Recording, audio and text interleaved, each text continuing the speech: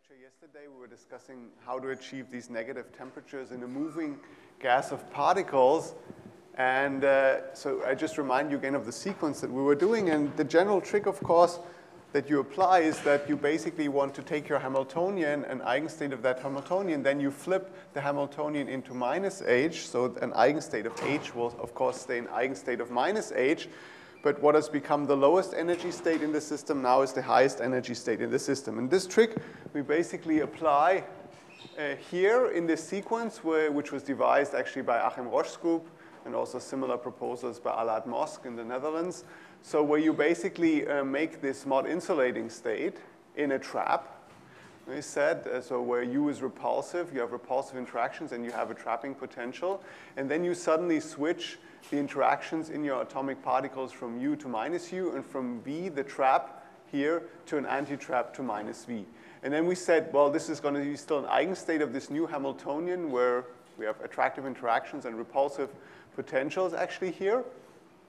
And, but now we're in the highest energy state of the system. And if we ramp down the lattice, uh, decrease kind of the lattice depth again and increase kind of the kinetic energy to interaction energy ratio.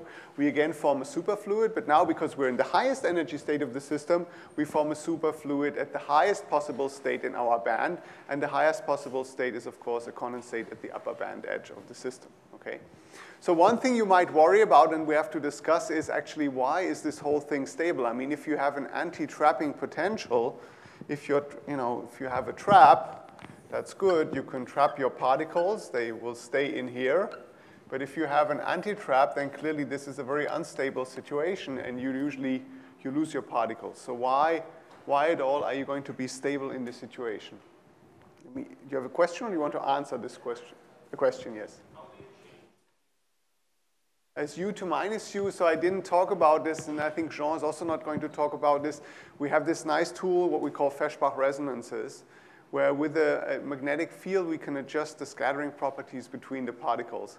So at the knob of the magnetic field, I can basically change the scattering length and thereby the interaction parameter u from positive to negative. I can also go to the non-interacting case, which is also nice. So I can always compare results to a non-interacting gas of particles as well.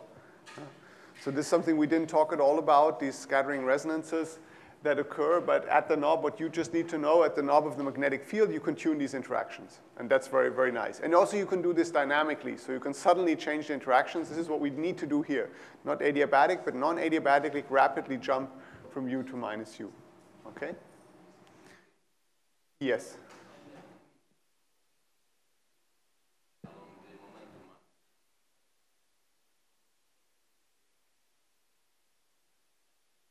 Uh, in position, nothing's happening. If in position, this is position space.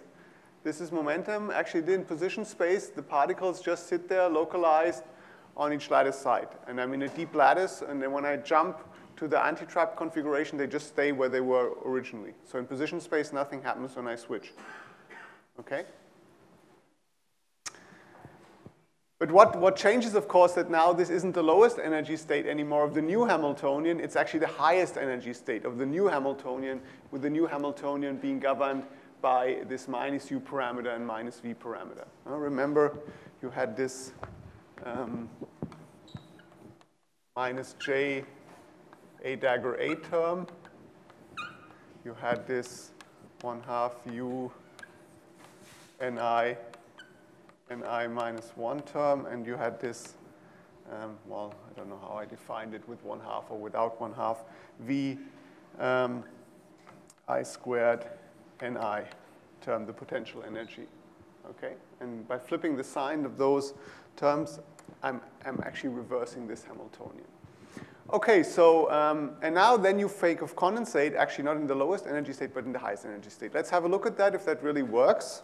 To get a bit closer here. Okay, here we go. So here's uh, what happens if I go from our uh, superfluid, our Bose-Einstein condensate with this nice interference pattern when I release it from the lattice. So these are time of flight images, the one we discussed in the beginning of the, the class. When you make the lattice very deep, you go to this Mott insulating regime where you have unit occupancy and you see you lose the interference pattern. So this is an indication that we're in this strongly interacting regime with repulsive interactions. Then I kind of switch, uh, I just ramp back down again. Let's do that first. Let's just ramp back down again. And you see you get this interference pattern back. It's a little bit deteriorated in quality, but otherwise you see it comes back nicely. So it shows you get uh, Bose-Einstein condensate back again. And now you do the switch. And this is the case where we do the switching, and now we ramp back down again, and you see you also get an interference pattern, but you get the interference pattern. Remember, the interference pattern tells you where, which Bloch state you are in. And this is the interference pattern for not the lowest energy state, but the highest energy state in the band. If you recall, the central peak vanishes, and you get these side peaks coming up, which tells us that we really have been creating this superfluid now in the most excited state of the system. Now, one thing you might worry about when you make uh, attractive interactions, this is actually a very famous experiment from, from Eric Cornell and Carl Wieman's group, is that the system actually becomes unstable. And this is what happens to a normal condensate when you make attractive interactions suddenly turn them from repulsive to attractive, the whole system just collapses on each other as you would expect. Now, you have a repulsive gas, it's stable, and suddenly you make everything attractive, and then everything wants to collapse onto each other. And this is what they call kind of a Bose-Nova that happens. So it's kind of a violent kind of uh, explosion of the imp implosion of this gas uh, that occurs in the system. And you might wonder, actually, does that happen here also? And actually, we see that's not the case. Here's the lifetime uh, determined through the visibility of the interference pattern of our gas um, with repulsive interactions in blue and attractive interactions in this anti-trap case in red. And you see that even this negative interaction case is even slightly longer lived than the repulsive interaction case that we see before. So actually this gas is completely stable. So it's another thing we, we, we have to we note and we will understand in a second actually. And if we actually now look at the momentum distribution, I can just determine the temperature of the gas by fitting kind of a Bose-Einstein condensation, Bose-Einstein distribution formula in momentum space to my momentum distribution. So remember, for positive temperatures, you have the low momentum states, which have large occupation and lower occupation to higher momentum states. And for negative temperatures, you just have the inverse. So the high, high energy states have large occupation, and the low energy states have low occupation. And by just fitting this uh, Bose-Einstein distribution function in momentum space of the kinetic energy to, to our data, we can determine the temperature of the system. And it turns out to be um, something like uh, minus, uh, 2.2. It's in this case, it's about a few minus 0.5 nanokelvin uh, in the system absolute temperature measured directly through this Bose-Einstein distribution function. So let's, let's discuss a few puzzling things in this negative temperature. Uh, first of all, let's, let's think what negative temperature actually also implies. So if the gas is stable, as we've seen, this means that the derivative of entropy versus volume at fixed energy, we're working in an isolated system, has to be larger than uh, zero, has to be positive, right? Because we know in thermodynamics, the long-term limit is the case where we have increase of um, entropy of the system, and that if that would be the case, if that would be negative, that would mean the whole gas collapses onto itself. And we saw that that's not what's happening. The gas is stable, so the SDV has to be positive in our system uh, for the system to be stable, and that's what we also see in the experiment. Now, if we take just uh, um, dE TdS minus PdV, our first uh, theorem from uh, thermodynamics, and look at constant energy, we find that this dsdv is nothing than absolute pressure divided by absolute temperature. Right? So if dE is zero, then this dsdv is just P over T. And if temperature is negative, but this whole thing has to be positive, that actually means that absolute pressure of this gas is, uh, is, is also negative. So this is kind of a strange gas, where usually on a gas, when you kind of want to compress it, you have to perform work on it, right? If you take air, you want to compress it, you perform work on it. This is a gas which has, does the opposite. So here's a gas where you actually have to perform work on it when you want to expand it. That's the meaning of this absolute pressure being, being negative. Um, then another thing that's a little bit puzzling, but uh, not really a problem is that if we look at the efficiencies of a Carnot engine that we could form by connecting a positive negative temperature reservoir to each other and making kind of a machine out of it, uh, it turns out that if this, um, if you calculate this efficiency and plug in kind of the negative temperature of one of the reservoirs, you actually find that this efficiency is larger than one. And that's something for you to think about. So don't worry, we're not violating energy conservation here. So we're not creating a perpetuum mobile, otherwise you wouldn't believe me right away, and rightfully so. But actually there's good reason why this energy, uh, this Carnot efficiency defined in this way actually would be, would be larger than one in this case. And this is something maybe you can, you can think about. Um, actually, some statements of the second law of thermodynamics become invalid also in this regime, but most, most theorems still hold in that regime too.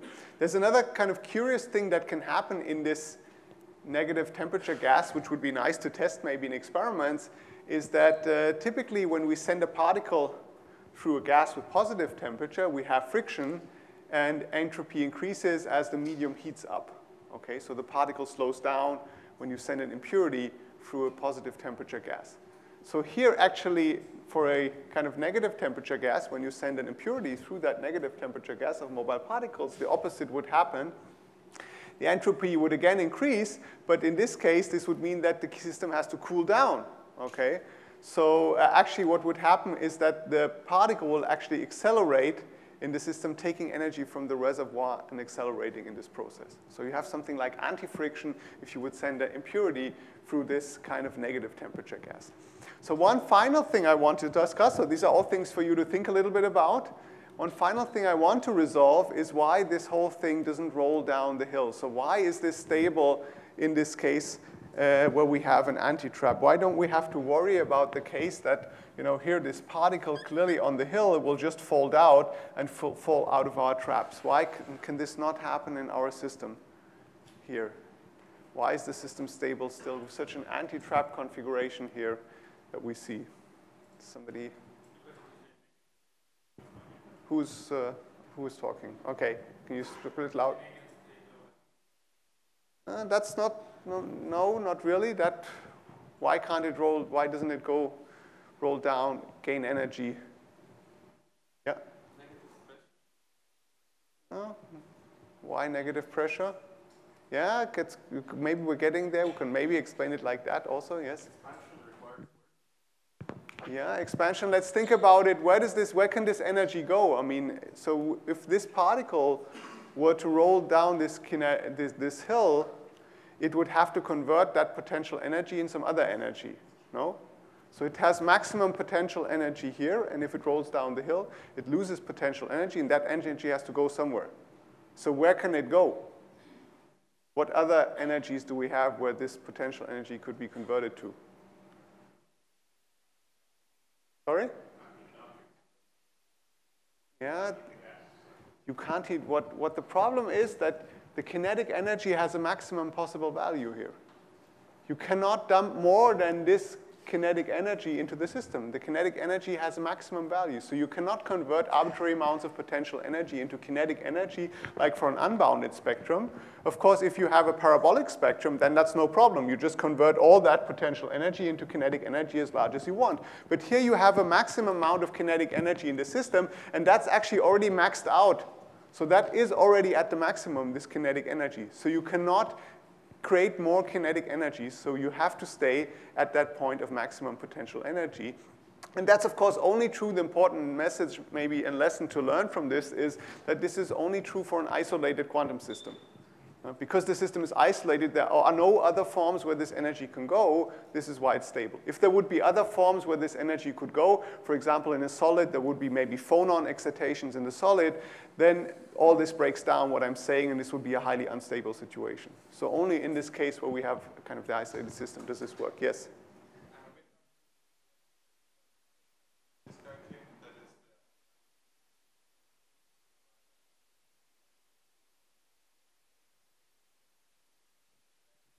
Sure.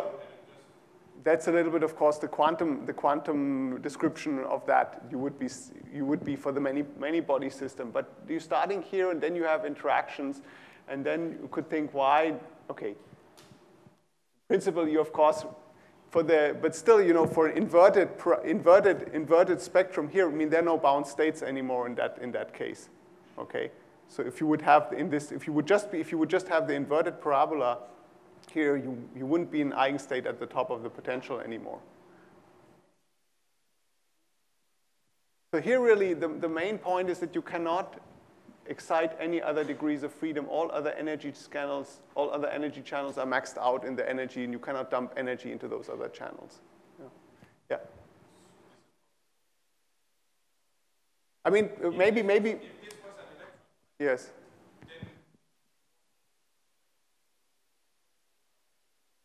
Yeah, what will happen, exactly, yeah, what would happen? Okay, let's think about it. And what's maybe a little bit deceiving that here we're just plotting the kinetic energy in the energy channel. So let's think about what would happen to an electron if I do, if the electrons were bosons. Let's think about that. Um, let's, let's imagine we could all put them in the, in the same state here, but now there would be phonons in the system also, lattice vibrations. And now what would happen through the interactions of the electrons with the phonons, that's what we're missing here. Yeah? The electrons with the phonons, you would basically relax down into this state. So this energy would be given up to the phonons in the system. You would excite a lot of lattice phonons in the system, and you would actually relax from this point down to this point. So that's, that's what we don't have, right? We don't have this other energy channel present in the system.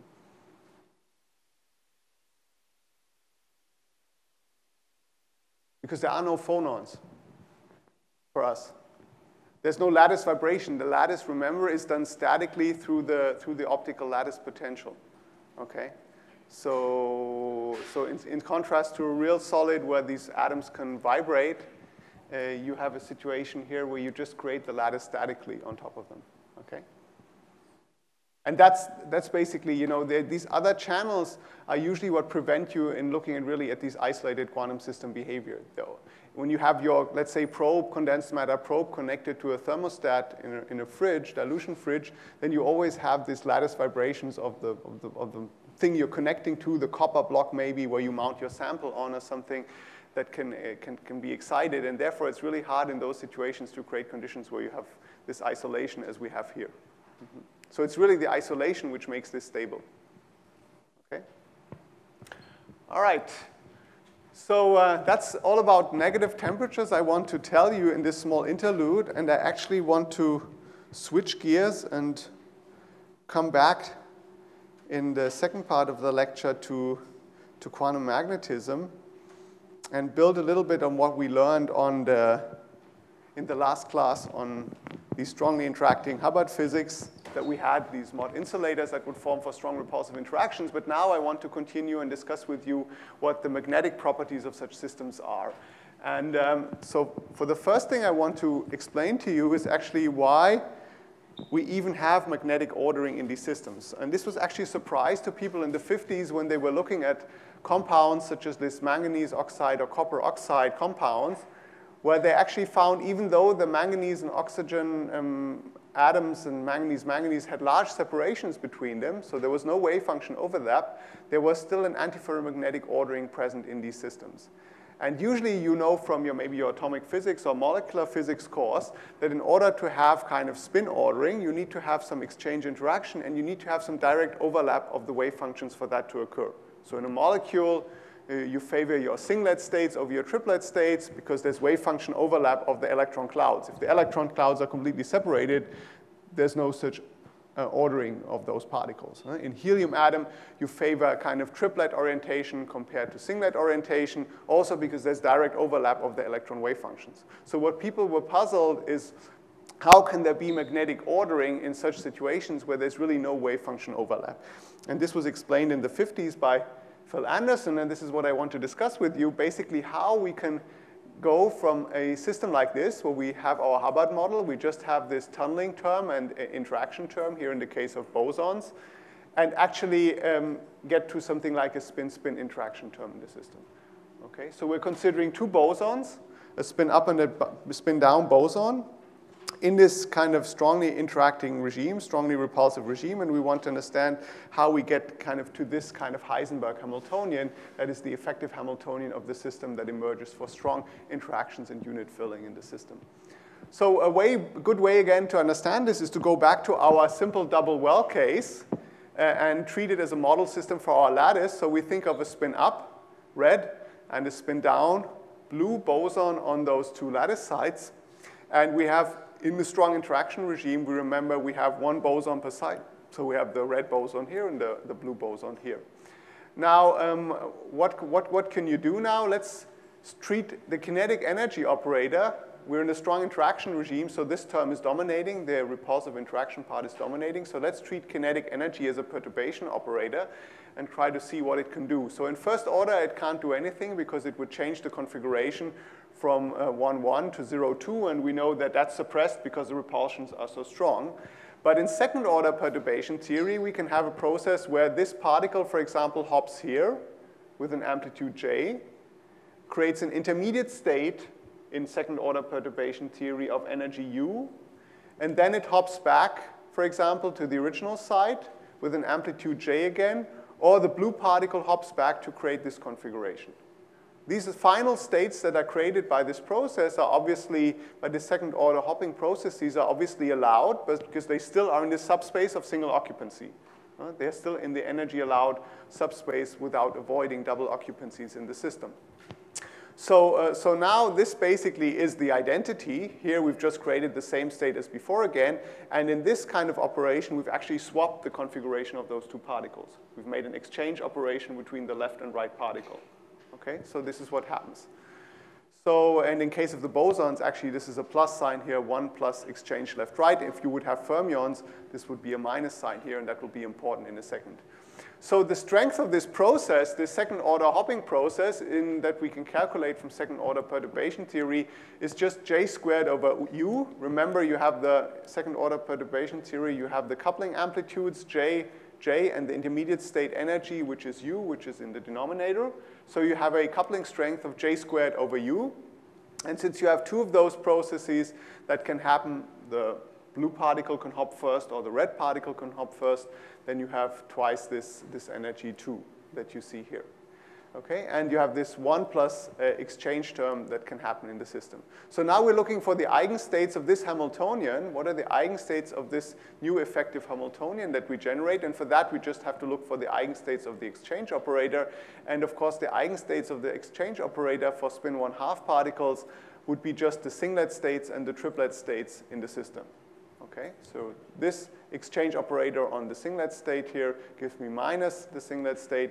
Exchange operator on the triplet state gives me plus the triplet state again, as you can directly see when you exchange the position of those two particles on those two lattice sites.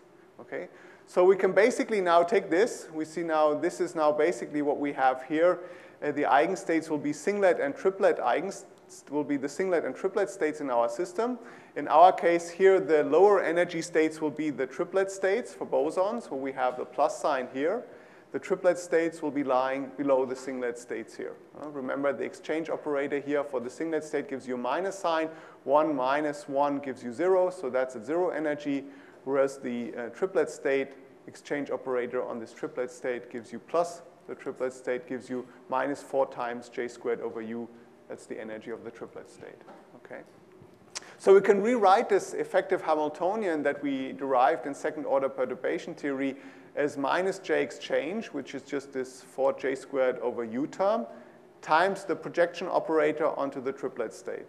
So this gives us 1 if you're in the triplet state. This gives us 0 if you're not in the triplet state and corresponds to the spectrum that we've just derived here.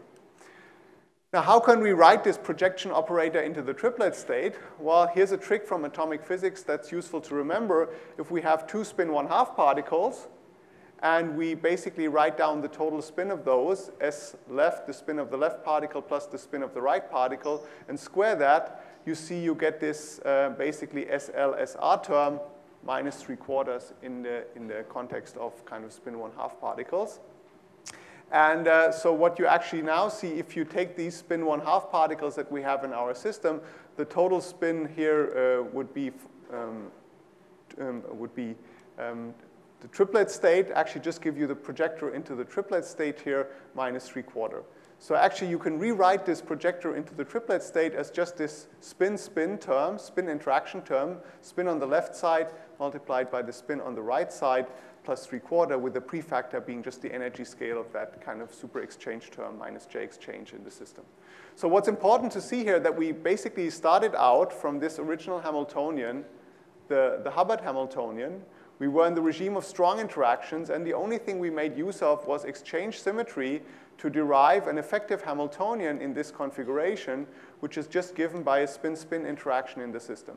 And whether we have a minus sign here or plus sign here only depends on whether we have bosons or fermions, okay? Because that gave us the one plus exchange term or one minus exchange term, which changes the sign here. So in the case of bosons, this is uh, J exchange is positive, and we have a minus sign here, so we favor ferromagnetic alignment. The triplet state is the low energy state, whereas for fermions, we have a plus sign here, and we favor antiferromagnetic alignment of the particles, Uh, in that case, with the singlet state being lower in energy than the triplet state.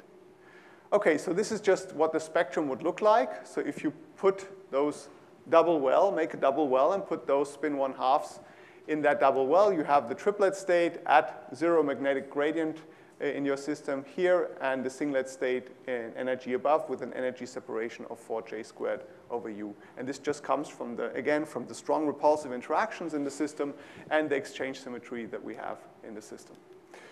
Okay, so um, let's make an experiment and uh, try to see this kind of super exchange interaction, how we call that, that's how we call it. Let's try to see this SISJ interaction.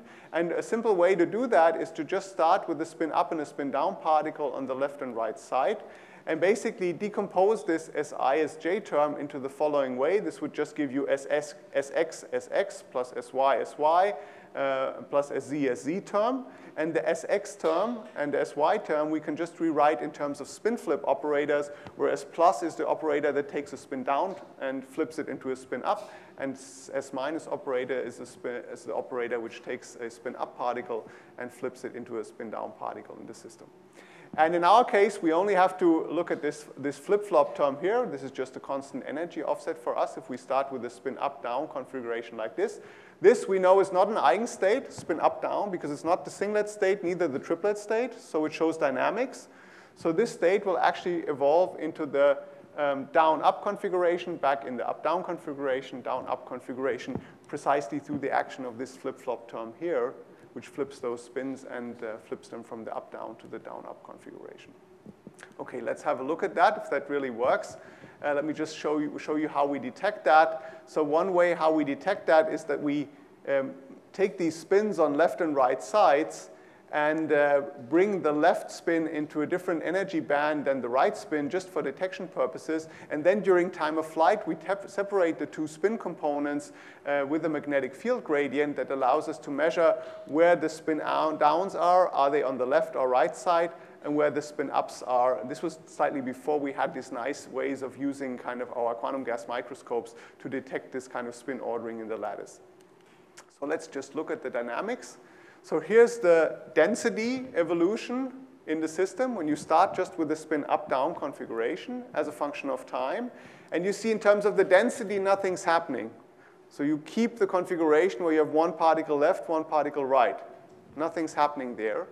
But when you look at the magnetization, so the difference of spins on left and right sides, you actually see that there's kind of a very strong dynamical evolution in the spin.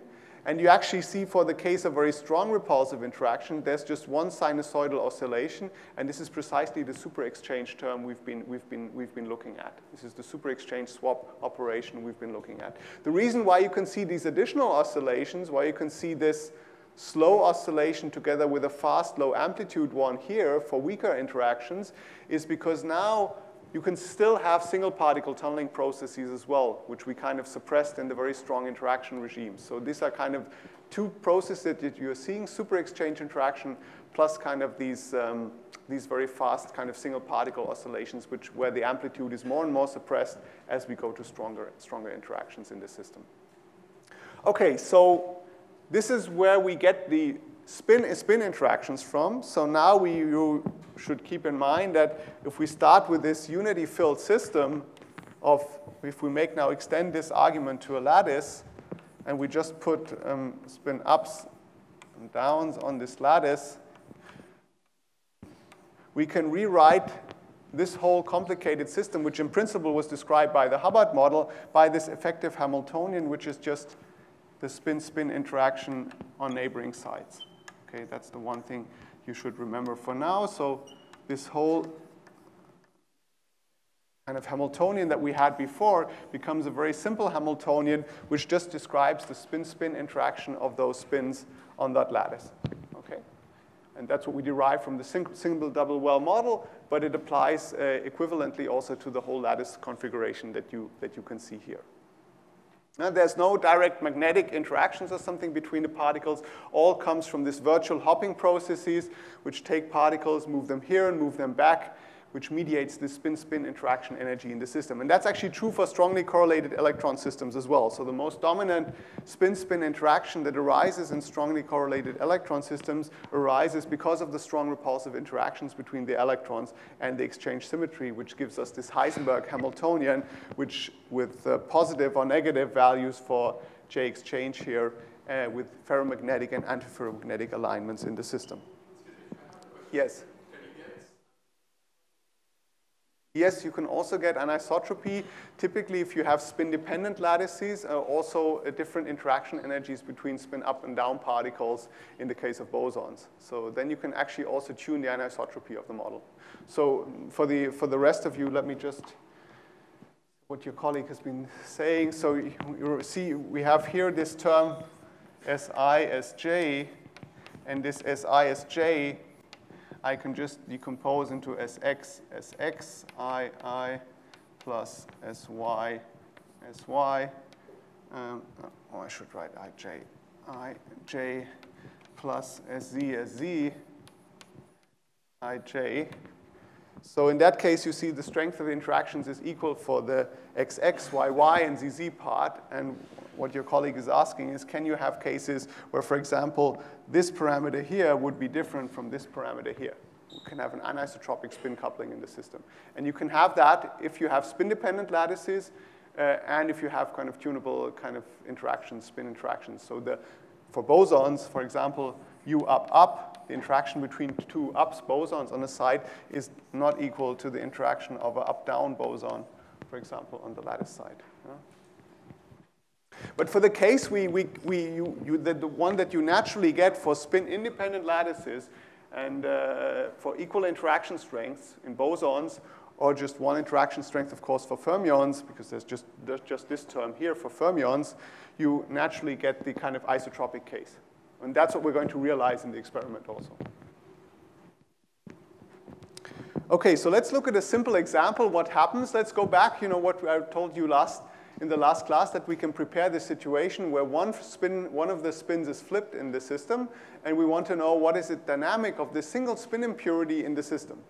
And now we'll see, actually, that's actually a very simple problem. Let's do this in the case of two-component bosons, again, where we have this kind of now ferromagnetic Heisenberg interaction. Ferromagnetic because we have the minus sign here, and J exchange is positive. So we favor in the chain ferromagnetic alignment, equal alignment of the spins and we want to now want, know what happens if a single spin is flipped in the system. The way we did this, remember, is we could go in with this line of light, shine it onto one of the rows of the atoms, and flip the spins on that line. And then we can just release the atom, the spin there on that line, and look uh, and take photos of where the spin is at a later point in time, where the spin down spin is the later point in time. So let's understand what's happening here. So we have the spin-spin interaction term is ISJ, which we could just rewrite as this Sx, Sy, Sz coupling terms. And the Sx and Sy terms, also remember, we could rewrite as this S plus S minings, these spin flip terms in the system. So if I write it like that, you actually also see a nice analogy. This term here is very much like the A dagger A term we had in the single particle Hubbard Hamiltonian.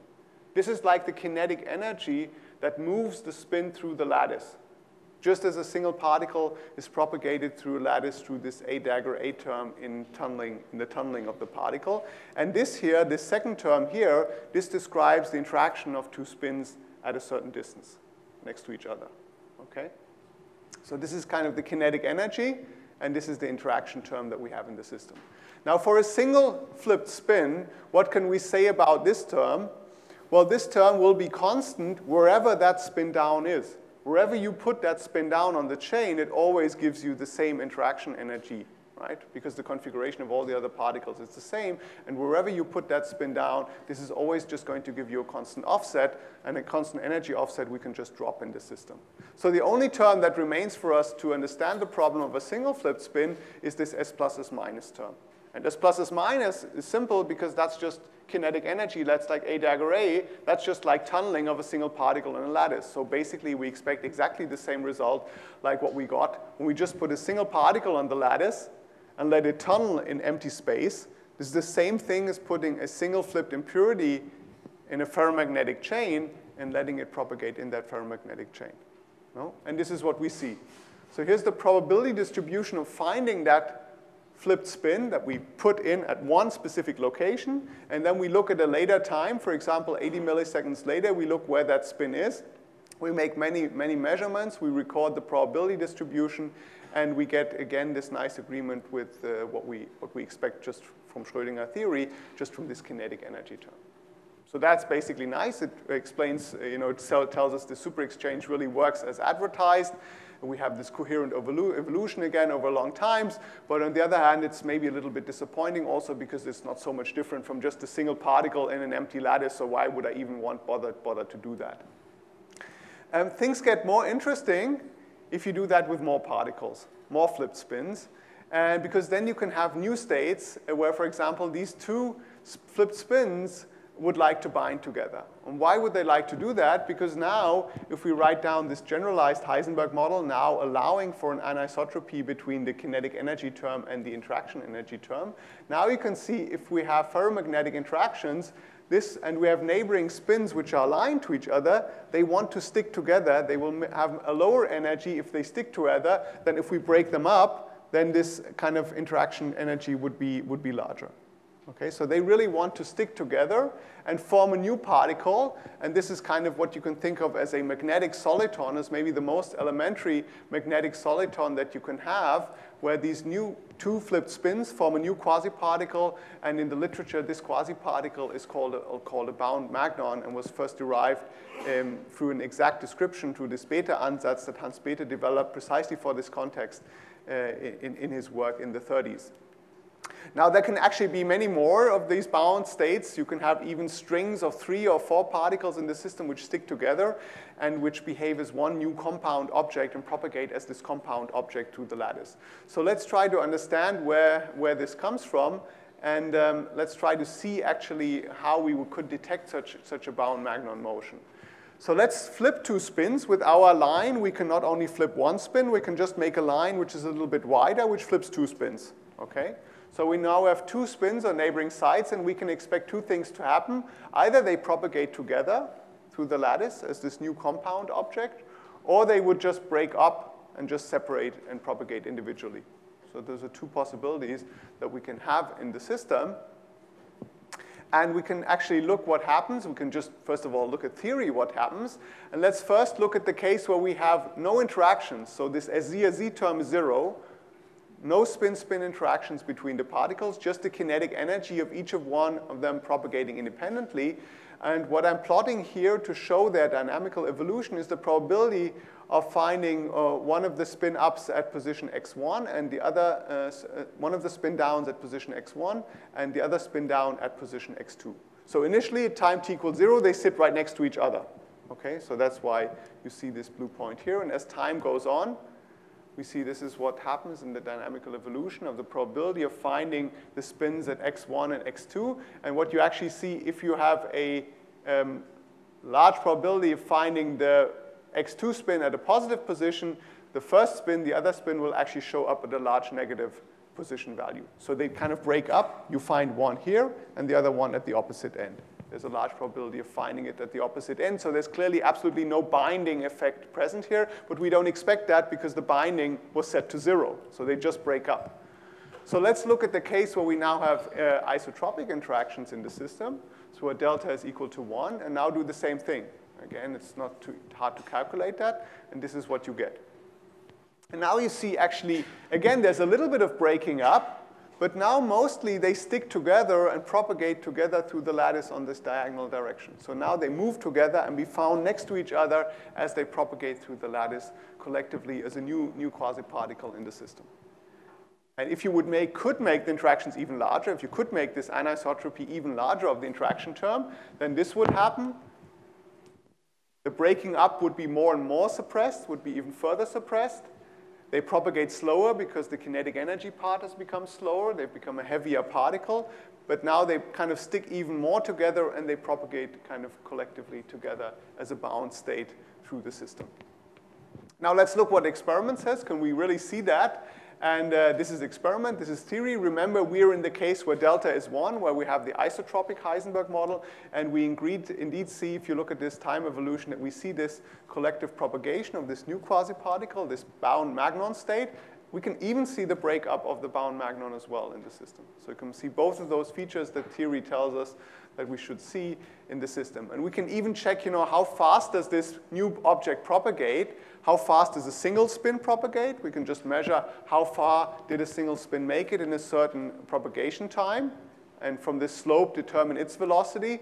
And then we can see how the two, the bound magnons, the, you know, the objects that stick together, propagate through the system collectively, and we see that that actually, in this case, is actually just twice a factor of two faster for the free magnon compared to the bound magnon. And from Bethe's theory, from the Bethe ansatz, we would expect this to be precisely two times the anisotropy parameter. Delta is one in our case, so it matches beautifully with this kind of exact ab initio result that we see.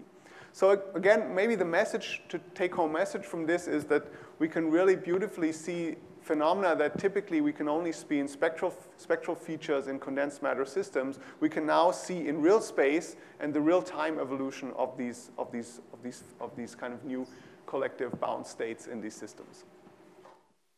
Okay, um, let me um, move on a little bit. Let me skip this part. I'll keep it in for you uh, uh, for, the, for the notes because I think it's interesting to learn about how we can control and detect these kind of spin correlations. I want to come back now in the final part of the lecture to this, to this fermion case. Uh, we started out with, with the Fermi-Hubbard model, uh, kinetic energy, interaction energy. We said when we lower the temperatures, we get the Mott insulator. We now have learned that if we have a spin mixture of fermions, we have antiferromagnetic interactions where we have basically have a plus term here so we expect our spins to orient antiferromagnetically on the lattice. And this is what we would expect. If the temperature is lower than this energy scale, then we would expect this term to dominate the spin ordering of the particles on the lattice. So as we extend now our temperature axis from high to low temperatures, we start out with this kind of metallic state, then we go into this Mott insulating state, where we have kind of incompressible state with unit occupancy, but no spin ordering that yet because the oops, temperature is too large compared to J exchange. But now if the temperature becomes lower than J exchange, then we should be able to see also the spin ordering of the particles as they are in the lattice. And first experiments actually already in 2008 were able to detect these Mott insulators here, these fermionic Mott insulators. Later experiments were then able to detect signs of a antiferromagnetic ordering in this crossover regime, but newer experiments that I would like to talk about now with these quantum gas microscopes have given us much better evidence uh, of this antiferromagnetic ordering in the system. So, so what we really want to understand then, if we have such antiferromagnetic ordering, like here in these 2D systems, what we would like to understand in such systems, what happens when you put charge defects in these systems. So the antiferromagnetic case is actually simple. We understand everything from this effective Heisenberg Hamiltonian. The thing that we don't understand, and that's uh, where a lot of the controversy arises, what the correct solution to this is when you, again, allow for some defects here, for some charge defects, and how these charge defects have what their interplay with this antiferromagnetic environment is. You can do that in 2D, or you can do that also in 1D, where you basically take out a particle or you put in an excess particle create a doubly occupied site, a doublon, or an empty site, a holon in the system, and you now ask how do these doublons or holons kind of interact with this antiferromagnetic background that you have in the system. And while this is a whole story for itself in 1D, again, life in 1D is completely different than 2D, and uh, people like Thierry uh, Giamarchi who've spent their whole life in, in, in, in thinking and working out what these 1D systems actually do. All right, so let's go back to the experiments. And uh, discuss a little bit what, what has been seen. So here are some of these quantum gas microscope experiments on, uh, on Fermi gases. Well, we've seen the band insulator yesterday in Markus Greiner groups. There are these beautiful pictures from the Mott insulator for fermions. So these are two components, spin component up and down fermions in a lattice. And you can see that they actually form this beautifully uniform density plateau that we already understood from the bosonic Mott insulator case again. But you don't see where the spins are yet in the system. And now for, for what's really nice now that actually we've been able, um, our group and uh, group of Markus have been able to see, and other groups in Martin Zwierlein's group, um, and also Waseem Bakr's group in Princeton have been able to see kind of different antiferromagnetic correlations on short, medium, and kind of long-range uh, length scales in these systems. Here's the result from Markus' group, which I think holds the record in terms of low temperatures, which is important because lower temperature means you are more in the regime of this antiferromagnetic ordering. So you start here in this undoped case where you have no charge defects. You have a nice Mott insulator. You cool down below this exchange temperature, and then you get this antiferromagnetic ordering. And they kind of were able to see this antiferromagnetic ordering by, in their case, removing the spin-up components from the system, so they're only left with the spin-down components. When you see a hole, then in this case, where there's no doping, you are sure that where there was a hole, that actually was originally a spin-up particle, okay? And then you can calculate spin-spin correlation functions from that, which are, which are shown here in this 2D plot, where you can actually see that for very low temperatures, they see very nice antiferromagnetic spin correlations over the entire cloud, extending over the entire cloud. Okay? Whereas if they heat up the system, if the system becomes warmer, those antiferromagnetic correlations vanish, and you just have this constant Mott plateau, but no antiferromagnetic ordering in the system anymore. So getting temperatures lower means you can really now see this antiferromagnetic ordering also in the system, and this was, I think, really a breakthrough experiment in this, in this context. Let me explain a little bit what, uh, what we've been doing and how our experiments work and how we can actually, reach, actually achieve uh, spin resolution in the system, how we can see what's going on in the spins and the charges in, in the experiments. And um, so here are some pictures of our Mott insulators in the short, short spaced lattice. So the lattice period is 1.15 micrometer in the x direction, 1.15 micrometer in the y direction. This is what we call the short, short lattice. And then we have another lattice where we basically, lattice configuration, where we double the period in the y direction and keep the period in the x direction the same. And I'll show you in a second why, why we actually want to do that. In both cases, you see you see nice Mott insulators. You see this unit filling. There are some defects. We discussed those. Those are typically temperature defects that occur in the system, but there's nice uniform filling. But what's a little bit unsatisfactory is you don't really see where are the spins. You just see there's an atom there, but you don't see from these pictures where is the spin up and where's the spin down particle actually in, in the system. So how can we achieve spin resolution in our detection in the experiments? And the way we are doing this is actually a very elementary way of doing it is actually just using the standard Stern-Gerlach effect that you all know.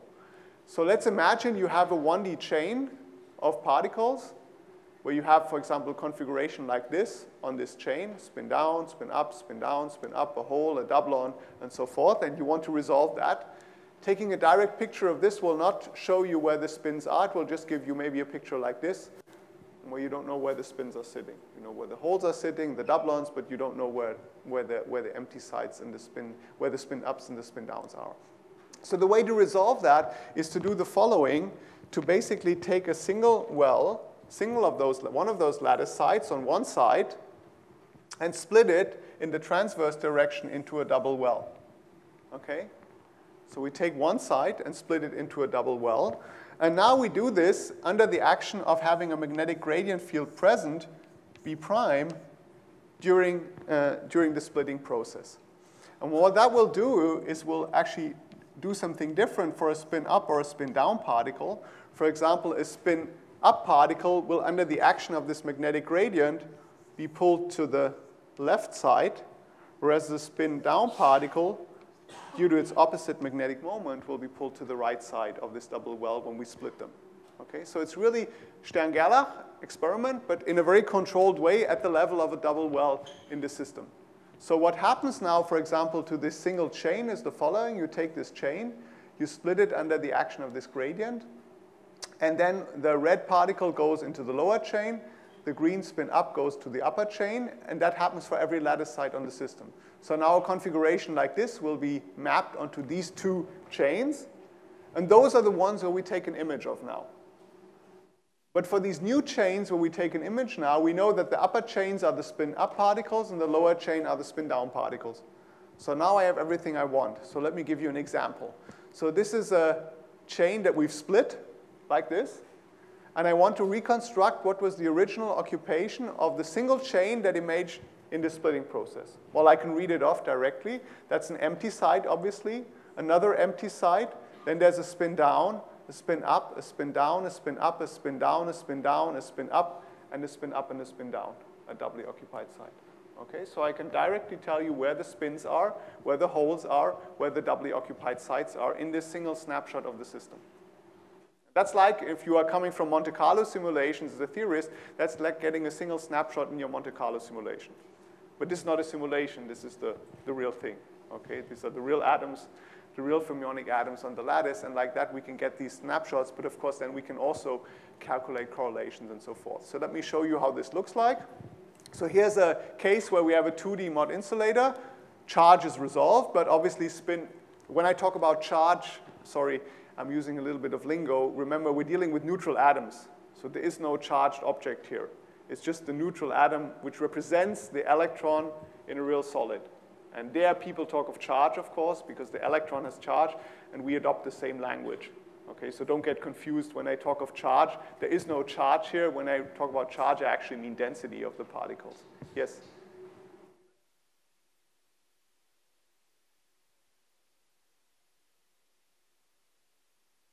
Yes, it also resolves that because doubly occupied sites are also separated on single sites.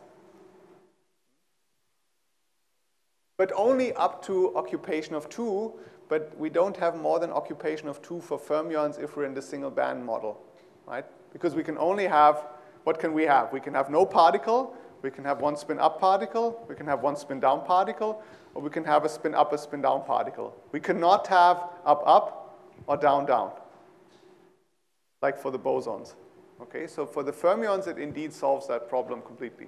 If you're in the lowest band, you have full you have full resolution of all those four configurations.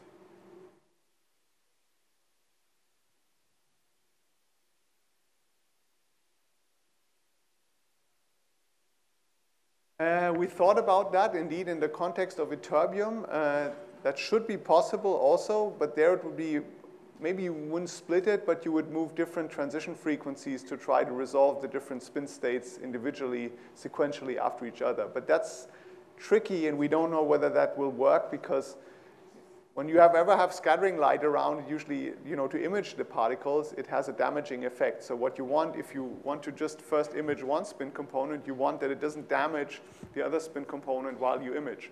Okay, so that's subtle.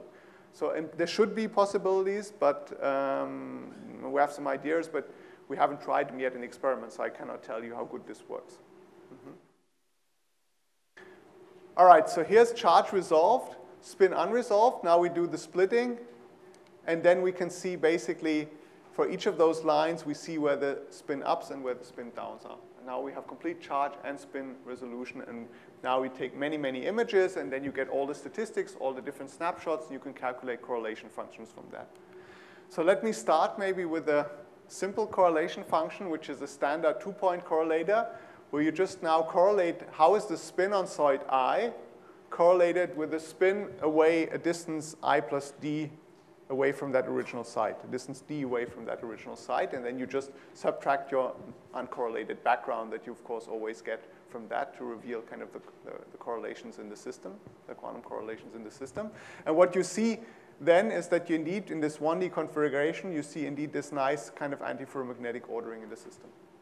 Now, as Jean explained in the, in the colloquium yesterday, there's no long-range order in low dimensions in 2D or in 1D here, so we cannot expect this to be a constant like what we would get in 3D, in a 3D system. Instead, in 1D, for even for zero temperature, we would have decaying spin correlations, which have an algebraic decay here uh, in the system. So even for a 1D system at t equals zero, we would still expect this to be algebraically decaying spin correlations in the system. In our case, temperature, finite temperature still dominates kind of exponential decay of those correlations in the system, but you can see we can still see these spin correlations up to maybe 10 sites out in the system.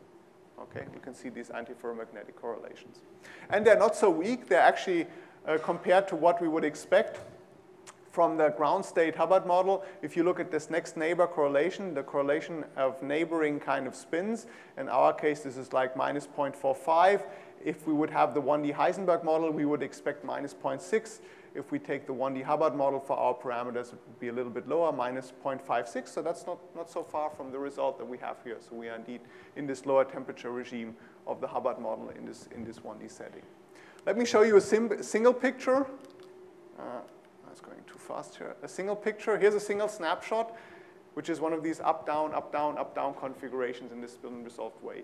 However, this picture is very misleading because it suggests that the, the state that we've created is really this classical state up, down, up, down, up, down, up, down. That's, I should caution you, this state, is the one you see there, that's not at all the ground state of this, this Heisenberg model. Okay, This would be the ground state if we only have the SZ as Z interaction term in the system. So if I would have SI as J, just ZZ interaction, then obviously this state will minimize the interaction energy of this, this term here. But the SX and XY, ASY terms create kind of much more interesting quantum correlations in the system. And actually, even though we like to show this picture, this is a, with very low probability picture that you get even if you're in the ground state of this Heisenberg model. But we still like to think of the antiferromagnet in this classical picture. But keep in mind it's something much more complicated. Okay, something with a much more entangled structure than this kind of classical state that you see here. But nevertheless, in the following, I want to adopt this picture at least helps us with our intuition to understand what's happening in this, in this um, antiferromagnetic systems. Okay, so with that said, let's think of this antiferromagnet as up, down, up, down, up, down, knowing that with all the things, reservations that it has. And now we want to move forward in the step of understanding what, what do these actually holes, what do these charge impurities do in that system? And how does that depend on the dimensionality of our problem, for example, as well? So what we can do is we can take, for example, one spin and just remove it from the, from the system. Let's take this spin and just remove it what you see now beyond the two holes, you see now a spin up, spin up configuration. And now what can happen, this hole will of course now tunnel. We said holes are like particles. They tunnel in the 1D configuration, so it will just move through the system. And it will leave behind, as you can see here, another excitation of the spin configuration. This has cost some magnetic energy costs because this is not an antiferromagnetic alignment of the spins. So it will leave behind a spin excitation, which we call the spinon, and uh, here's uh, the hole excitation, which we call the holon, and they kind of propagate independently through the system. So that's kind of already an interesting thing. You've kind of removed a particle, an elementary particle, right? And this kind of has fractionalized into two excitations, a spinon quasi-particle and a holon particle in the system. Okay, this is kind of a very celebrated example of a spin charge fractionalization that happens. So you take an elementary particle with kind of spin and density, and you remove it, and it fractionalizes, breaks up into two elementary excitations of the many-body system that you can see here. Okay, so, um, so in this case, actually, we see that the um, the hole moves independently and moves uh, through the system independently, and this leaves a spinon behind. But we can ask, is this really the, the ground state of the system? Wouldn't it be better? Actually, I'm missing one slide here. Important slide. Let me see.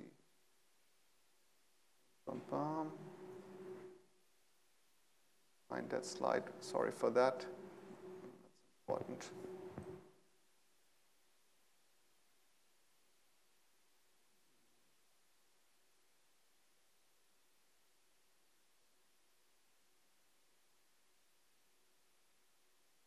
Get that slide for you.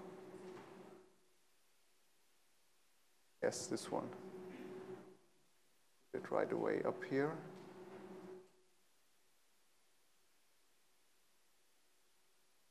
Have it in the notes also, sorry for that. So now we can ask, and that's what, what, what happens, we violently remove one particle. We create an, a holon and a spinon excitation. But let's now ask, actually, what is the ground state?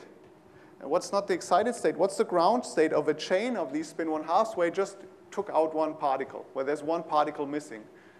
And then we have to basically consider two things. We have the hole, the missing particle, and it will have minimum energy when it's maximally delocalized, right? Any single particle has minimum energy if you delocalize it maximally. And the hole is like a single particle, so in order to create a minimum energy state, you actually want to delocalize the hole as much as you can. And the spins, they want to align antiferromagnetically because of this term here, which gives us this lower energy cost when they are antiferromagnetically aligned. So you have these two competing kind of effects that you would like to minimize at the same time, and you ask yourself, what is the best way where how I can fulfill that? And the best way how you can fulfill that is the following way, by writing down the many-body state in the following kind of cartoon picture as this antiferromagnetic background with the hole being delocalized over the entire chain. So it's a coherent superposition of being everywhere on the chain. So that minimizes its kinetic energy. But at the same time, having kind of an antiferromagnetic configuration around this hole. And not the ferromagnetic configuration that we would get if we would just violently remove this hole and create these excited states, the spinon and the holon behind, and you would see here a ferromagnetic alignment around the hole, but rather for the ground state, we would actually expect a antiferromagnetic alignment around those holes. That's the lowest energy state that we can have in the system. And uh, so what we basically see from that is that these holes for us, act like domain walls in an antiferromagnetic background. So whenever you encounter a hole, you basically want to shift the antiferromagnetic order from plus one to minus one. If we denote the ordering, let's say a down, up, down, up order by plus one and the up, down, up, down order by minus one, whenever we encounter a hole, what you want to do to create a low energy state is kind of shift the parity of the antiferromagnetic order from plus one to minus one. So if you want to think about it, these holes are like domain walls or parity kinks in the antiferromagnetic background. Let's see if we can see that. And this is kind of a first example of something you really cannot measure in a standard condensed matter experiment. This is the three-point correlator that allows us to reveal whether around a hole we have antiferromagnetic alignment. So let me go slowly through this. So the correlator we want to measure is the following. We want to know whether a spin on this side, i, how that's correlated with the spin on side i plus 2, so two sides away, conditioned on having a hole in between. It's a three-point correlator because you have the two spins that you're correlating, but you have a conditional probability conditioned on having a hole in between them, okay? So this is this three-point correlator that you see here. And here's the undoped case. If we would know, have no hole, you see you have for the C2 correlator here at distance 2, you have ferromagnetic alignment of the spins. But if you actually remove that hole, if you have this doped situation of a hole there, then actually we find indeed antiferromagnetic correlations across that hole. So if we have a hole, then the spins do not align ferromagnetically around that hole, but they align antiferromagnetically around that hole. And this is not only so for the, just the, the single environment around the hole, here's in this more complicated diagram, you can actually see that the whole antiferromagnetic order is shifted by the presence of this hole.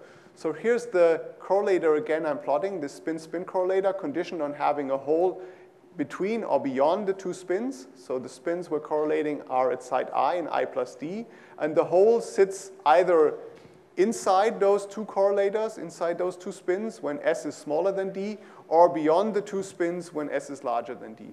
And depending on whether S is larger than D or S is smaller than D, you can see that this up-down, up-down configuration is flipped into a down, up, down, up configuration. If you look carefully, the colors are just shifted by one, one column, indicating that this spin correlator is just flipped in sign whenever there's a hole in between the system. And the whole antiferromagnetic background flips. Um, so now let's just discuss and come back maybe to something also that uh, Jean talked about, topological order. Uh, in his lecture, what happens if you have more holes. So one hole, we understand now, one hole makes a single domain wall flip, but what about many holes that you have in the system? So if you have actually many holes in the system, what happens that each of these holes introduces this domain wall kink that we saw before, uh, that flips the antiferromagnetic background parity from plus one to minus one. And, uh, but if we would kind of look at this system a bit closer and you stare at it longer, you see that actually if I could somehow just remove the holes, it would just look like an undoped antiferromagnet in this kind of squeezed space. So this is the full system. Each time there's a hole, there's this parity flip. But if you remove the holes and squeeze the system together, you see actually the antiferromagnet you get is a perfect antiferromagnet again, like in the undoped case. Okay, so in this so-called squeeze space, this doped system looks like a uh, perfect antiferromagnet that we occur in this, uh, that we have in the system. And the reason for that is a very special thing in one dimension, and this is uh, so-called the essence of spin charge separation in one, one dimension that was originally derived in 82 using this Bethe ansatz from Hans Bethe that we also, he also used for the, for the bound states, magnon bound states by Woynarovich et al. and later by Ogata and Shiba, which says the following thing. It actually is a very powerful statement about the many-body wave function of these very complicated systems, of the spins moving on the lattice, interacting with each other. It tells us that this many-body wave function actually factorizes into two parts. It factorizes into a part of spinless fermions, which just determine the position of the particles on the lattice. And the second part, a magnetic part, which determines the magnetic structure on this fictitious lattice with m sites where m is smaller than n, where just all the holes have been removed, and we have a perfect Heisenberg antiferromagnet on this fictitious lattice living on lattice sites where all the holes have been removed in this fictitious squeeze space. And the fact that this wave function factorizes in this density part and the spin part is really the essence of what we call spin charge separation in 1D. It's a very special feature of one dimensions uh, where, we, where we have this kind of factorization of the wave function. You can actually reveal these kind of correlations that are present in the system also uh, by introducing something that we call a string correlator, where you now basically correlate the spin on one side with the spin on another side. But remember, to reveal the correlations, you always have to take care of the fact that whenever there's a hole, the whole spin order will be flipped by minus one. And this is what this intermediate operator takes care of. Okay? Whenever it encounters a hole, it introduces a minus sign in the spin correlation. And if you don't have that part here, you will not be able to see those spin correlations, as I'm going to show you actually in, in, a, in a second. So this brings me just to an interlude to put this into context of discussion of order parameters, non-local hidden order parameters. Let's go back to the, our original definition of, of an order in a many-body system. So if we think of a typical many-body system and a typical order parameter in this Landau paradigm of phase transitions, we would define it in the following way. We would take the correlation function of uh, an observable A, measure the value at point x, correlate it with a value at point y, and with x and y going to infinity, if that goes to a constant value, we would say, well, there's a long-range order in the system, which extends over the whole system, and we can introduce an order parameter here, which will be just kind of this expectation value of A. Uh, what are famous examples of this? Well, a famous example would be just a ferromagnet, all spins pointing in the same direction. That's easy to understand. If you know the spin points up here, then you know it also points up over here. As far as you go, it will point in the same direction. The same thing is true for a condensate wave function. Uh, whenever you know the phase of the condensate wave function in three dimensions, in higher dimensions, you know it somewhere, you know it perfectly what it's going to be somewhere else. Okay? Or also for a standard BCS superconductor, they are all famous examples of such kind of order parameters defined in this, in this, via this Landau paradigm. But of course, you can ask, is this a general classification scheme for all phases of matter? Are all phases of matter characterized like that? And what you should have learned by now, and also from Jean's talk, that's not the case.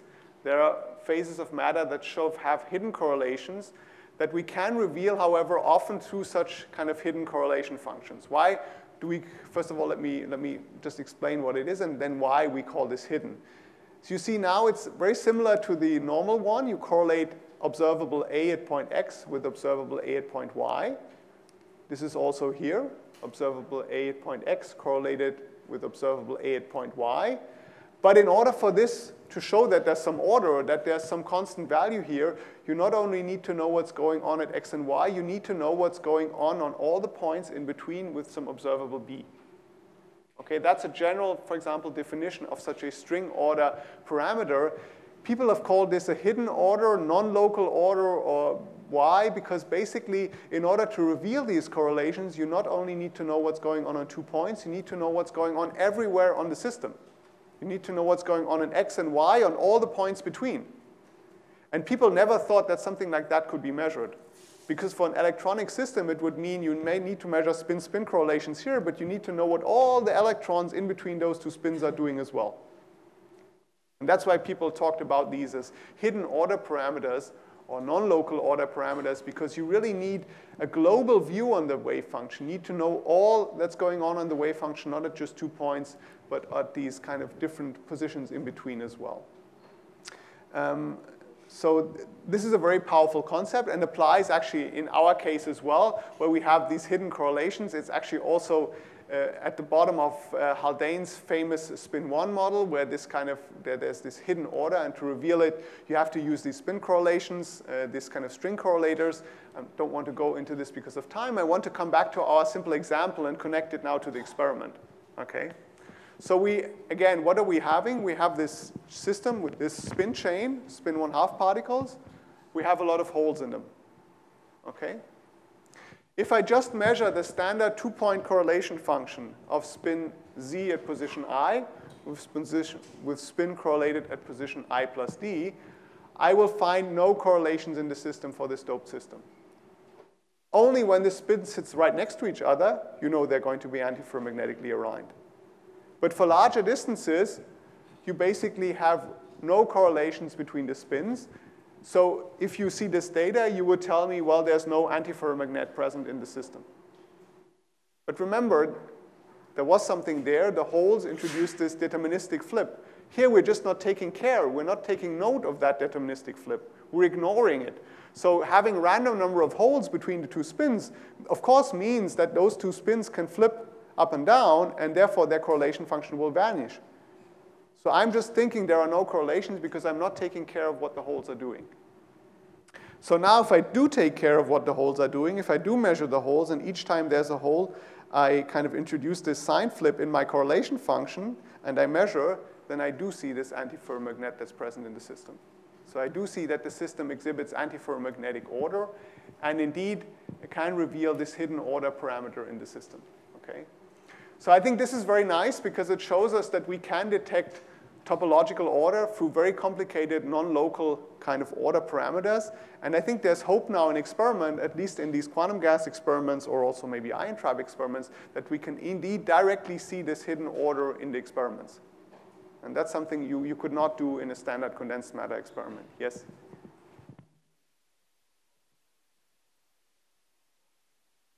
It is the ground state because we're just doping it. We're not introducing the hole violently. So we're not making, uh, we're just starting out with a density that's incommensurate with the lattice. Okay?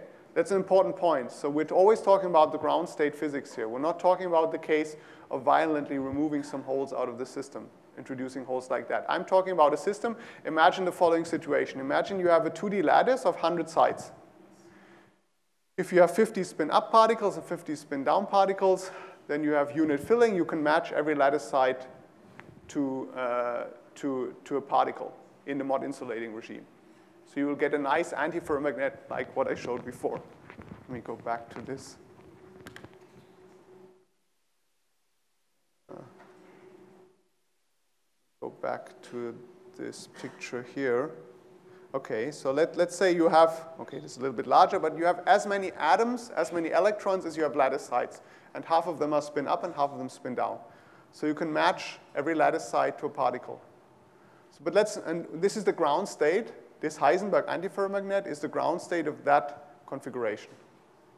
Okay? But now let's imagine a, a situation where you have, for example, um, 95 particles, but 100 lattice sites. And now I'm asking you, what is the ground state of that system? Okay, and that's what we're discussing. Okay, so I'm not re removing those. I'm really trying to find the ground state of a doped system where the number of particles, in my case, doesn't match the number of lattice sites.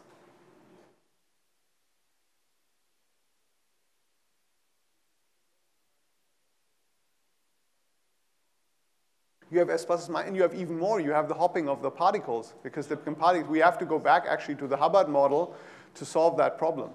Yeah?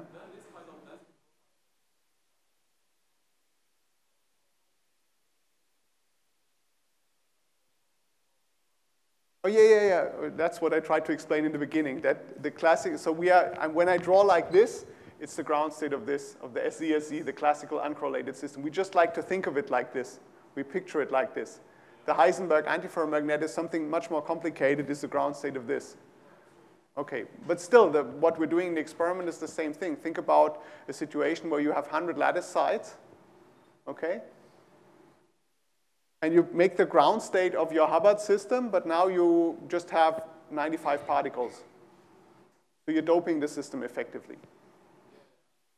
Yeah? And that's what we've created, I come back to your question, and that's what we did in the experiment. So we didn't go in the experiment, create a uniform system, and then just kick out some particles. We started out with a system which has a lower number of particles, yeah? So we have, let's say, quantum holes in there. Let's call them quantum holes, ground state holes, and we try to look how they arrange in the system.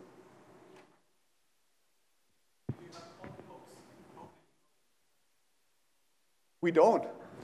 We just measure them. It's in the measurement process. So what this correlate? We don't. I mean, this is the point. I mean, if you go back to the ground state of these quantum holes, let me go back to this slide, which was kind of important, I think, to explain how can we think of the ground state of this system, this doped system, okay? We say that we have the charge, the hole. In order to minimize its energy, it's going to be delocalized over the entire lattice, so we don't know at all its position. In the ground state wave function, it can be everywhere on the system.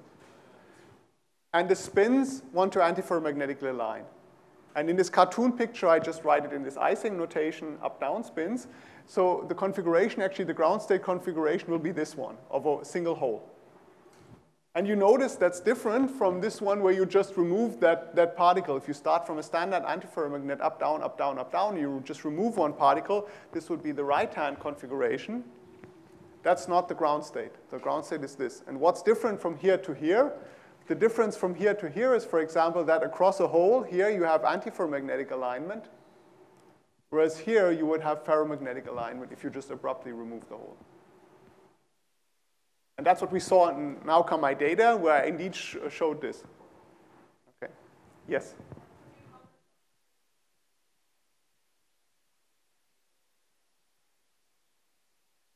Mm-hmm. Again, I cannot, I would not, you're totally right, and that's not how we're doing it.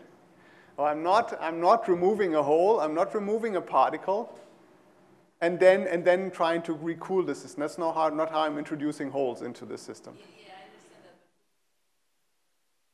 Oh, what you would expect is precisely this, and this is what we're trying to see now in the lab, actually. This, this when, you, when, you in, when you either remove abruptly a particle or you inject, you put another electron on the lattice side, this electron will now break up into this uh, two degrees of excitation of the system, a holon, a charge degree of excitation, which just uh, carries no spin, but just charge density, and uh, this spin excitation here, uh, where the spin, the spin one half of this spinon excitation is left behind.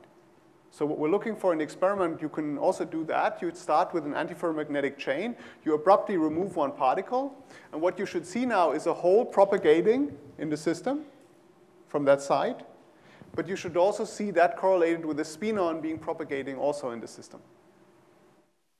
Okay, so you are basically taking, putting in, and that's what's the beautiful thing about this fractionalization. You have one elementary particle, the hole that you remove, or the particle that you remove, or another particle that you put in, a spin one half particle of charge, for example, and it breaks up into these two degrees of freedom of the collective system. And that's what we're trying to see. So this is dynamical spin charge separation. This is seeing spin charge separation dynamically. The spin part of the electron and the charge of the electron breaking up into two collective excitations of the many-body system. And what we are seeing, what I've shown you so far, this here, this is the ground state version of spin charge separation. So typically people I mean, a standard condensed matter physicist would have probably not thought about measuring spin charge separation in the ground state because you would have to measure these non-local order parameters, which people thought you could never measure. So everybody told me and still tells me what you have to do in order to measure kind of a new topological phase or something of the system. You have to measure some excitation branches. You have to measure some dynamical new excitation branches that appear in the system, like the spin and charge excitation branches in the system.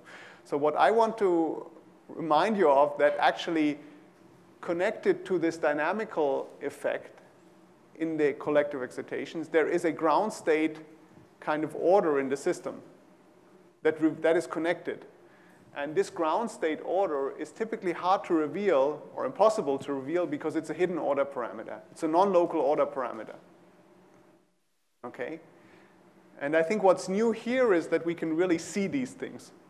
We can not only see them dynamically through excitations, we can directly see this order, I think, in a much more direct way than see also the underlying correlations of that many body system than just looking at the collective excitation branches.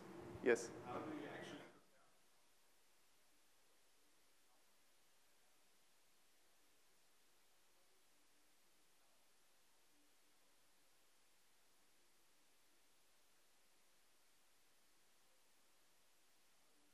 Okay, so the cooling part is, I didn't at all touch upon the whole cooling part. It's a very good question. It's a very uh, subtle question. So we, we basically, we start out with this 50-50 mixture of particles, okay?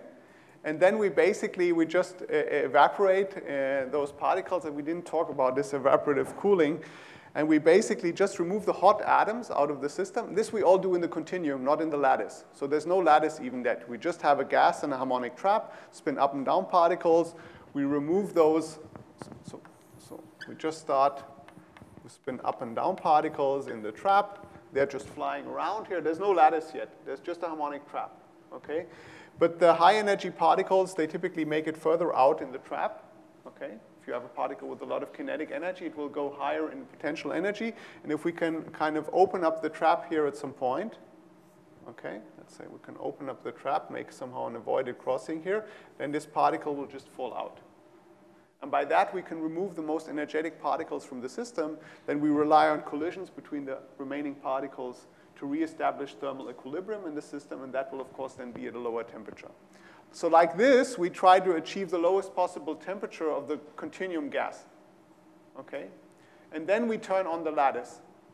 That's the point when we turn on the lattice, okay? And then we load into the lattice. And now to determine how, you know, what the density, how many holes we have in the lattice on average, that is determined now by what the trap is, how tightly confined we make the trap. So make the trap rather loosely confining, we can make the gas spread out over a larger region in space, so we introduce more holes. If we make it more tightly confined, we can compress the gas and uh, compress it to basically create this unity filling region better in the system or even create doublons. We compress more, we can create doubly occupied sites in the center, which is another form of doping, which we're actually going to come to in a second. Okay? Yes?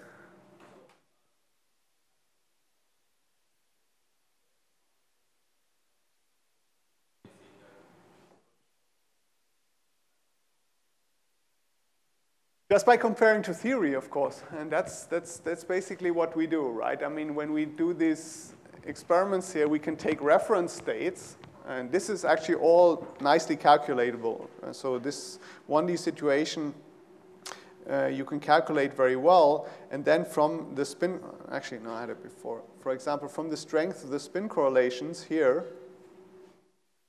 okay, so these are measured spin correlations as a function of distance. And from these spin correlations, we can compare to um, Monte Carlo simulations, for example, and, and derive the temperature of the system. Now that becomes, of course, uh, increasingly difficult if you don't have numerical methods anymore that can help you. And then we have to find other ways and or other reference points to estimate the temperature of the system. So this is how we, how we, derive, how we derive the temperature in the system. In this case, by just, just comparing to theory.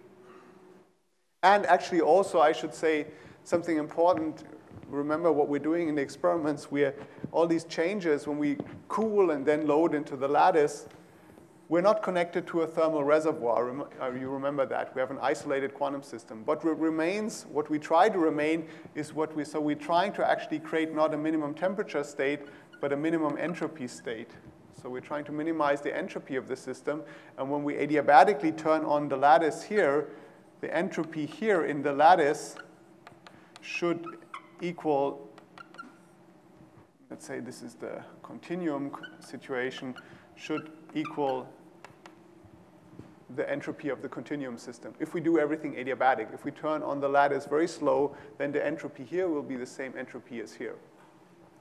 Uh, and then we can try to achieve the lowest temperatures in the system. But temperature throughout all those processes never stays constant for us.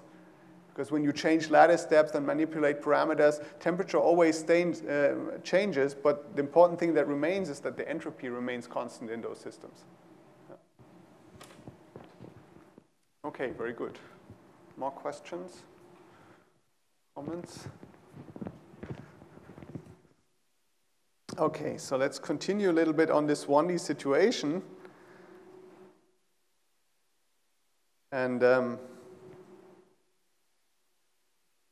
discuss a bit more what you can see, because this is not the, the end of the story and brings us to rather, rather new experiments uh, where we actually look a little bit more carefully how these holes actually behave when you dope the system. So we, we said we introduced these holes, they introduced these parity flips, but let's take a closer view a little bit what these holes can do to the antiferromagnet. And actually, there's this very famous Luttinger liquid description of these one-dimensional many-body systems, which allows us to calculate that in a very effective way. And what that predicts is that basically these holes, they kind of squeeze in the antiferromagnetic order and lead to basically incommensurate spin correlations with the underlying lattice. So if you now calculate the two-point spin correlation function for a given density, for a fixed density, then you would find that the antiferromagnetic wave vector is actually just stretched by this n density factor. When the density the same way goes below 1 or above 1, you get the same stretching effect for that kind of introduction of the holes in the system. Or if you introduce additional spins in the system, let's say you don't dope it with charges, you introduce additional spins, so you magnetize the system, so you have more spin ups than spin downs in the system, then you actually also stretch this antiferromagnetic wave vector in the system. Now, in order to see that, you might ask, why, why don't we, can't we see that directly? Well, the difficulty in the experiment is to see that you really need to work at a precisely fixed density. If you have varying densities in the system, density fluctuates, then you're just going to average over those different densities, and you're just going to average over those different wave vectors, so you're not going to see that. So you need a way how you can actually uh, measure precisely at a given density or at a given magnetization in the system. How do we do that in the experiment? And that comes maybe a little bit back to your question, how do we actually control density magnetization in the system? We only do it to a certain degree, but post-selection is very powerful here. Okay, so if I have a chain, I get like many, many images. So these are different shots that we take, and we analyze them.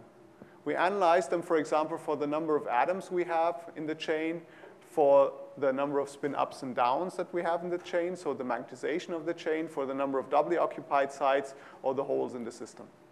So you actually see we don't have such a great control of how many atoms we have in a chain or what the magnetization is. But now I can go in post-analysis and say, okay, let's just look at the chains where we have absolutely equal number of spin ups and downs, where we have zero magnetization. Or just look at the chains where I have one more upspin than down, when I have downspins. Okay? So I have magnetization of one, minus one, or so forth. So I can just go into my data set and post-select all those data of a very defined magnetization or very defined density and then analyze the data for that. And that's the powerful approach that we can bring to this, to looking really at the defined magnetization and defined densities in the system, where we basically select the shots in post-analysis for magnetization and density.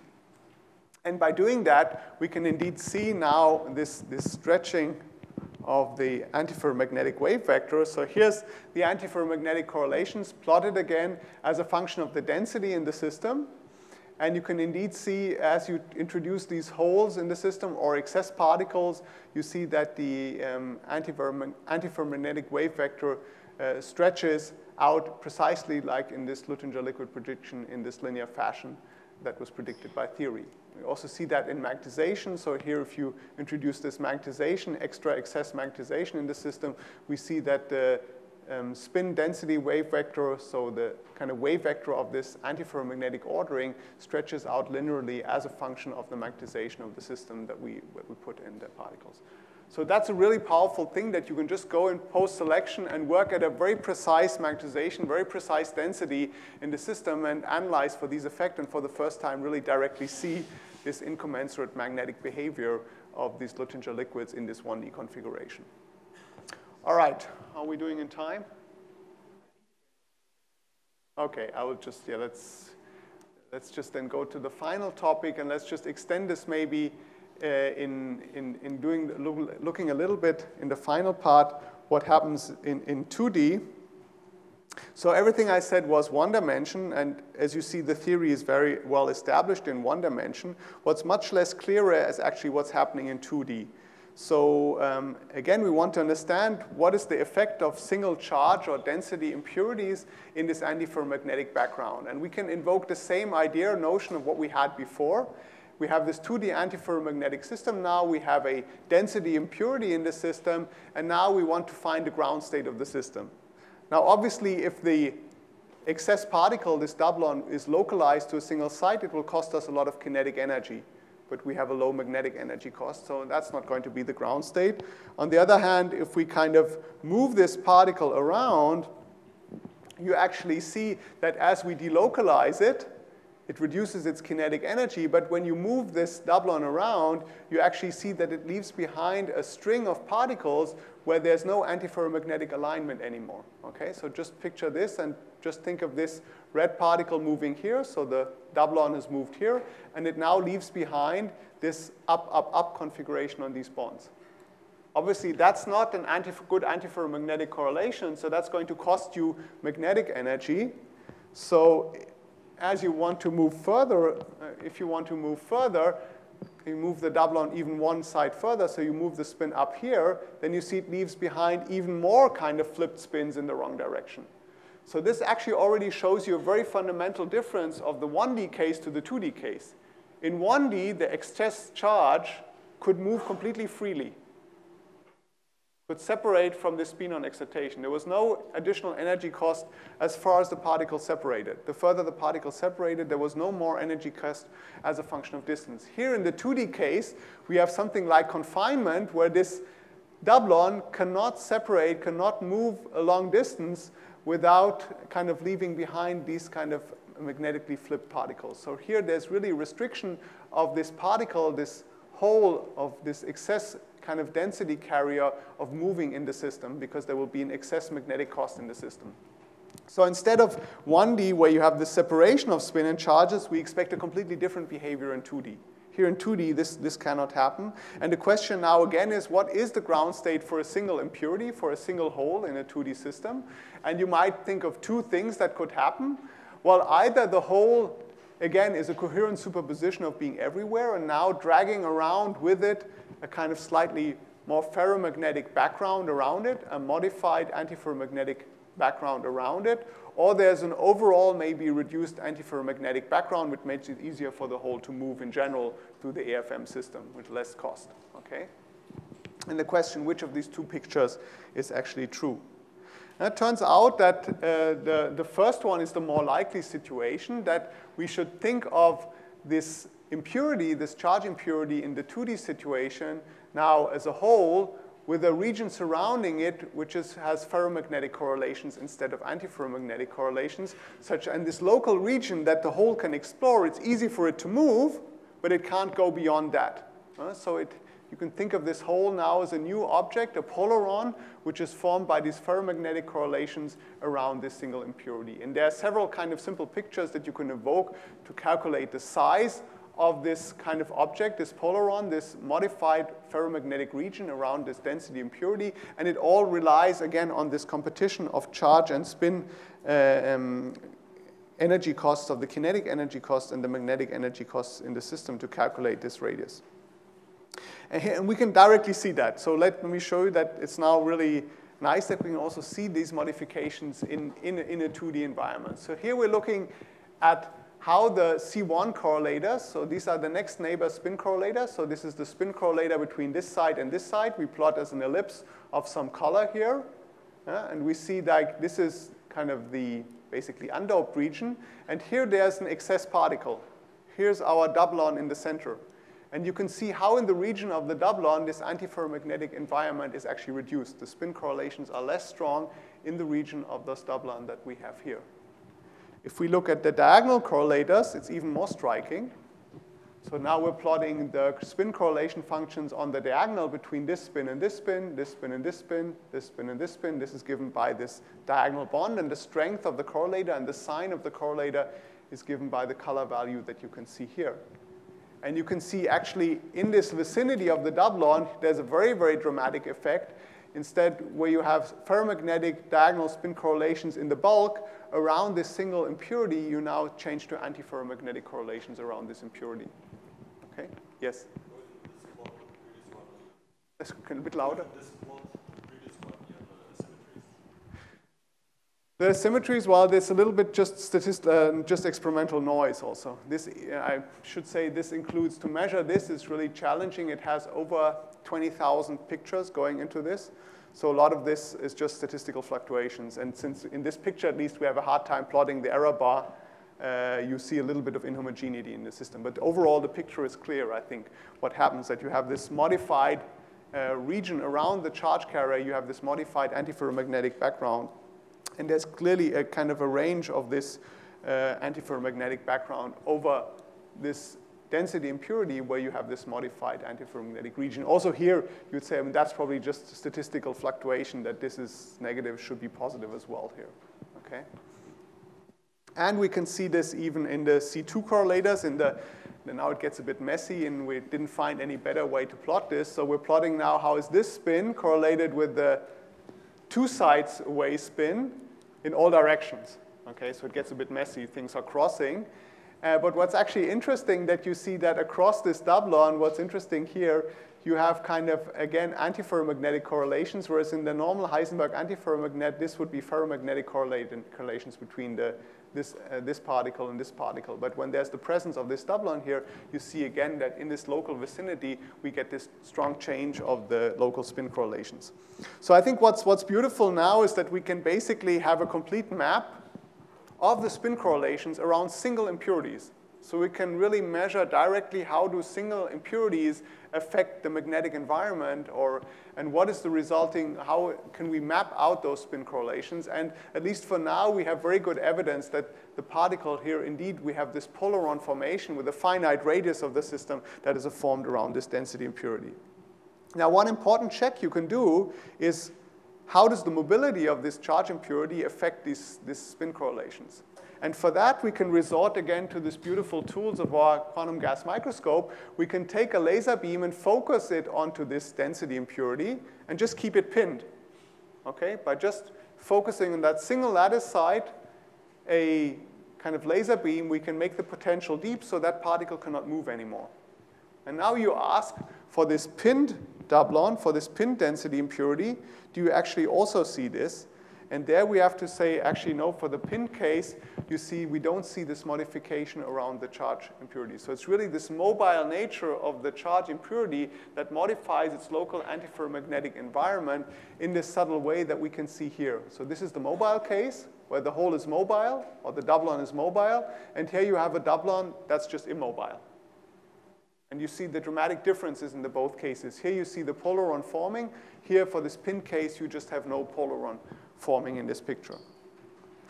Um, so this is actually, I think, very nice and brings us to exciting outlook, I think, for really understanding at a fundamental level and really directly getting microscopic pictures of what the interplay between charge impurities, density impurities, and magnetic environments are.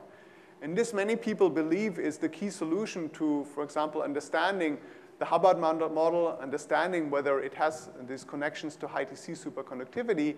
And one of the elementary things what could go on to do next would be really to look at these polarons that are forming around individual charge carriers and charge impurities, and then trying to see, is there some interaction between those polarons? Do they want to kind of link up to form new quasi-particles that can, for example, then, then condense and form a Bose-Einstein condensate and form a superconductor in the system. Uh, we can also look maybe at timescale of these polaron formations. Everything, as you've seen, can, we can look at dynamical effects in the system. We can look at uh, mixed dimensions, see how when we go over from 1D to 2D, how these kind of dynamical effects change and how dimensionality plays a big role in the formation of those polarons. So I think it's really a new area of understanding how magnetic correlations and charge impurity interplay interact with each other, and hopefully it will give us uh, insight into this long-standing problem of understanding the Hubbard model and its connections to, to high, high TC superconductivity. Okay, I think that I'll stop and we can just discuss a few uh, questions if you want on the talks. Uh, I just want to give credit to the people who did the work, especially on this last part I spent so much time today on. So this is our lithium quantum gas experiment team uh, led by Christian Groß and uh, Guillaume Salomon is a postdoc. Then there's Yanis and Jaya as postdocs here, and Timon has left us for Oxford. And we've been joined by Mim and uh, Dominic as new postdoc and students, and the theory work, uh, who, people who have consulted us on this and we've been working on this polaron problem are Eugene Demler and Fabian Grusdt from Harvard. And with that, I think I'll leave it here, and thank you very much for your attention.